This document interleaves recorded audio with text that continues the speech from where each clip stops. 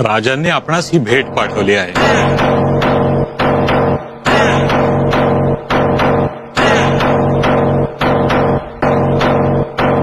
बाई बाई बाई.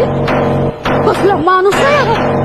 तू बघा त्याच केवढं मोठं? डोळे तर बघा. राक्षसी. शिवबाने उसने फेडले खानास जिवे मारून त्याचे मुंडके आम्हाला भेट म्हणून पाठवले. पंत गडकऱ्यांना सांगून या मुंडक्याचा योग्य तो मान ठेवून बालेकिल्ल्याच्या दरवाजा त्याला चिणून टाका.